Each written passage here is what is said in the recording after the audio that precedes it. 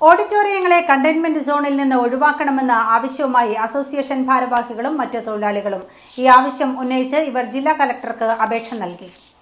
കഴിഞ്ഞ ഏഴു മാസങ്ങളായി അടഞ്ഞുകിടക്കുന്ന ഓഡിറ്റോറിയങ്ങൾ തുറന്നു പ്രവർത്തിക്കാൻ അധികൃതർ അനുവദിക്കണമെന്ന ആവശ്യവുമായി Kozhikode district auditorium owners association ജില്ലാ കലക്ടർക്ക് പരാതി നൽകിയിരിക്കുകയാണ്.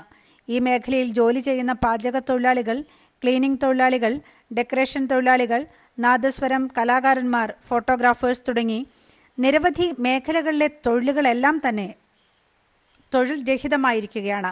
സർക്കാർ പറയുന്ന കോവിഡ് മാനദണ്ഡങ്ങൾ അനുസരിച്ച് ഓഡിറ്റോറിയങ്ങൾ തുറന്നു പ്രവർത്തിക്കാൻ തയ്യാറാണെന്ന് ഇവർ പറയുന്നു. ആരംഭിച്ചപ്പോൾ ഇതിന്റെ നാലാം ഘട്ടത്തിൽ മാത്രമാണ് ഈ ഓഡിറ്റോറിയങ്ങളെ ഒഴിവാക്കിയത്. ഓഡിറ്റോറിയങ്ങളെ ഒഴിവാക്കിയെങ്കിലും അത് ആദ്യം നൂറ് പേർക്ക് ഉള്ള പെർമിഷനായിരുന്നു നൽകിയിരുന്നത്.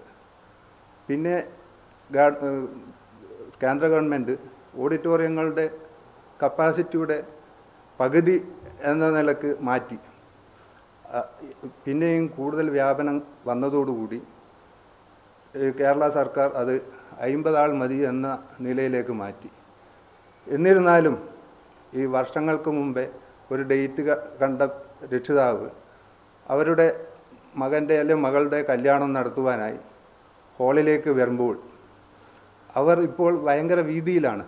കാരണം ഒരു ഡേറ്റ് കണ്ട് പഴയ രണ്ടും മൂന്നും ഡേറ്റ് ക്യാൻസലാക്കിയതിന് ശേഷമാണ് പുതിയൊരു ഡേറ്റ് കാണുന്നത്.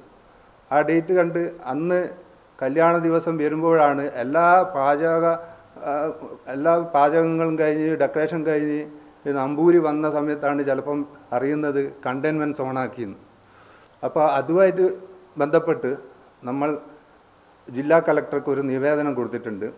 ഈ പെട്ടെന്നുള്ള കണ്ടെയ്ൻമെന്റ് സോണിൽ നിന്നും ഈ കല്യാണ മണ്ഡപങ്ങളെ ഒഴിവാക്കി തരണമെന്ന് കാരണം കാലാകാലങ്ങളിലായി നമ്മുടെ നാട്ടിൽ ഹർത്താലും ബന്ധമൊക്കെ നടക്ക് നടത്തുന്ന ഒരു സംസ്ഥാനമാണല്ലോ കേരളം.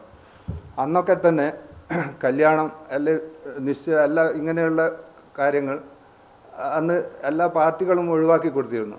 അതേപോലെ നമ്മുടെ ഈ കല്യാണ മണ്ഡപങ്ങൾ ഞാൻ പറയുന്നത് എന്താ വെച്ചാൽ ഒരു കൊല്ലത്തിലിടക്ക് രണ്ടും മൂന്നും ഡേറ്റ് കണ്ടിട്ട് പുതിയൊരു ഡേറ്റ് കാണുമ്പോൾ ആ ഡേറ്റിനും കല്യാണം നടത്താൻ പറ്റാത്തൊരു സ്ഥിതി വരുന്നു. അതുകൊണ്ട് ഈ കല്യാണ മണ്ഡപങ്ങളെ ഈ കണ്ടെയ്ൻമെന്റ് സോണിൽ നിന്നും മാറ്റിത്തരുവാൻ നമ്മൾ കലക്ടർക്ക് ഒരു നിവേദനം കൊടുത്തിട്ടുണ്ട്. നിലവിലുള്ള ഓഡിറ്റോറിയങ്ങൾ എഴുന്നൂറ്റി അമ്പത് മുതൽ ആയിരത്തി അഞ്ഞൂറ് വരെ ആളുകളെ പങ്കെടുപ്പിക്കാനുള്ള സൗകര്യമുണ്ട്. നിലവിൽ വീടുകളിൽ വെച്ച് കല്യാണം ഉൾപ്പെടെ നടത്തുമ്പോൾ ഉണ്ടാകുന്ന നിയന്ത്രണക്കുറവ് പരിഹരിക്കാൻ ഓഡിറ്റോറിയങ്ങൾക്ക് സാധ്യമാകുമെന്നും ബുക്ക് ചെയ്യാൻ വരുന്നവർ എല്ലാ ഏർപ്പാടുകളും ചെയ്തു കഴിഞ്ഞ ശേഷം പെട്ടെന്ന് കണ്ടെയ്ൻമെന്റ് സോൺ ആക്കുന്നത് വീട്ടുകാരെ വളരെയധികം ബുദ്ധിമുട്ടുണ്ടാക്കുന്ന അവസ്ഥയിലേക്കാണ് പോകുന്നതെന്നും ഓഡിറ്റോറിയം ഭാരവാഹികൾ പറയുന്നു.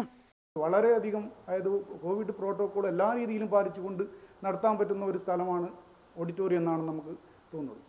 അത് കാരണം തന്നെയാണ് നമ്മൾ ഇന്ന് കലക്ടർക്ക് ഒരു നിവേദനം കൊടുത്തത്. ഇങ്ങനെയുള്ള കണ്ടെയ്ൻമെന്റ് സോണൊന്നും നമ്മൾ ഒഴിവാക്കിക്കൊണ്ട് നമുക്ക് എല്ലാ രീതിയിലുള്ള അതായത് നമുക്ക് വീട്ടിൽ നിന്ന് നടക്കുന്നതിനേക്കാൾ വീട്ടിലിപ്പം നമുക്കൊരു അമ്പത് ആൾ പറഞ്ഞു കഴിഞ്ഞാൽ നമുക്ക് പത്തോ നൂറോ ആൾ പങ്കെടുക്കാം. പല രീതിയിലുള്ള രോഗവ്യാപനം അതുമൂലം വരാൻ സാധ്യതയുണ്ട്. പക്ഷേ അതിനേക്കാൾ എത്രയോ കൂടുതൽ സൗകര്യം നമുക്ക് ഈ ആയിരം പേരുള്ള സ്ഥലത്ത് നമുക്കൊരു ഇരുന്നൂറ് പേരാക്കിയാൽ പോലും നമുക്ക് യാതൊരു ബുദ്ധിമുട്ടും ഇല്ലാതെ ഇവിടെ കാര്യങ്ങളൊക്കെ ഭംഗിയായി ചെയ്യാൻ പറ്റും.